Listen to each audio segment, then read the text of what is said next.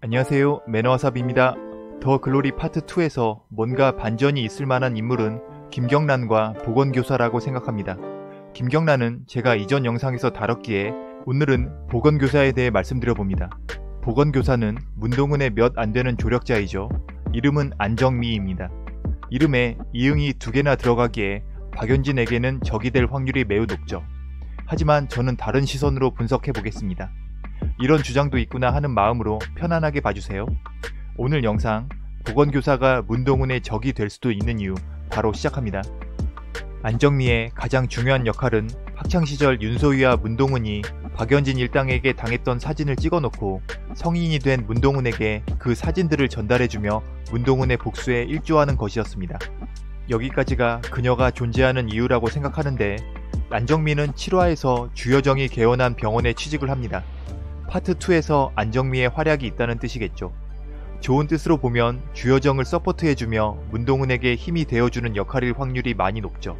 그런데 이번에 공개된 스페셜 영상 그리운 연진에게를 보면 주여정의 병원에 박연진이 치료를 받으러 옵니다. 박연진이 급하게 시술이 필요한데 세명시 번화가에 성형외과가 별로 없어서 주여정의 병원에 우연히 방문했을 수 있지만 뭔가를 알고 갔을 수도 있다고 봅니다. 파트 1에서 주여정이 하도영과 바둑을 뒀을 때 병원 명함을 전달했습니다. 하도영이 박연진에게 알려줬을 수 있으나 파트 2에선 둘의 관계가 나빠질 것이기에 가능성이 낮은 편이죠. 다른 누군가가 박연진에게 알려줬다라는 의심이 듭니다. 박연진이 아무것도 모른 채 주여정이 병원에 찾아왔다고 해도 안정비를 만나고 뭔가 낌새를 눈치채며 문동훈에게 새로운 위기가 찾아올 수 있죠. 그렇다면 제가 안정미를 삐딱한 시선으로 보는 이유는 무엇일까요? 학창시절 문동은은 박연진 일당에게 끔찍한 일을 겪고 양호실을 찾아갑니다. 그때 보건교사였던 안정미는 문동은을 보고 놀라며 심각한 표정으로 이런 대사를 합니다. 전에도 이런 거 본 적이 있어. 아마도 윤소희를 말하는 것이겠죠.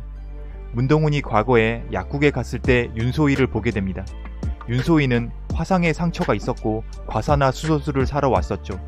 이 장면은 문동은도 과거 방관자였다는 고백을 보여주기 위한 것이었죠.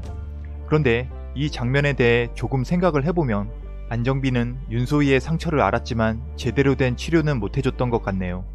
또한 그런 끔찍하고 야만적인 범행이 학교 내에서 큰 이슈가 되지 않았던 것은 학생들의 상처를 치료해야 할 보건교사 안정미가 윤소희가 당했을 때 모른 척 넘어갔었던 것으로 짐작할 수도 있습니다.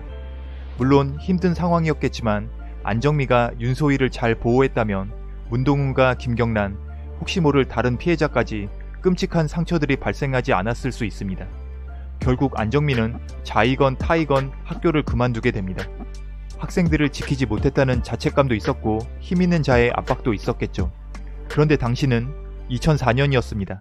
그때는 사회적 이슈가 발생할 때마다 네티즌들이 아주 활활 타오르던 시절이었죠. 안정미가 정의감을 가진 사람이었다면 인터넷에 올리는 방법도 있었고 다른 방법도 찾아보면 가능한 시절이었을 텐데 문동은을 뒤로 한 채 떠나버렸죠. 그렇게 안정미는 방관자가 되었고 나중에 문동은을 만났는데 문동은은 본인도 방관자였다는 말을 하며 안정미를 이해해주죠. 하지만 부정적인 시선으로 바라보면 안정미는 문동은 엄마처럼 돈을 받고 묵인했을 수도 있다고 봅니다. 피해자들의 사진을 찍어 놓은 것도 박연진 쪽에 더 돈을 뜯어내기 위한 협박용일 수도 있고요. 박연진은 양호실이 아주 편안해 보였는데 안정미는 윤소희 때부터 박연진 편이었던 건 아닐런지요. 파트 1이 끝날 때까지 문동훈을 돕는 사람이 거의 없는 상황이라 조금 과하게 생각한다는 느낌이 없지는 않지만 저는 이런 이유로 안정미를 마냥 좋게 볼 수는 없습니다. 윤소희와 문동은을 지키지 못한 보건교사 안정미는 과연 파트 2에서는 방관자가 아닌 정의로운 사람으로 활약할 수 있을런지요. 3월 10일 더 글로리 파트 2 시즌 2를 기대해 봅니다. 여러분들의 생각은 어떠하신지요? 구독과 좋아요는 아주 큰 힘이 되오니 부탁을 드립니다. 시청해 주셔서 감사합니다. 매너와삽이었습니다. 고맙습니다.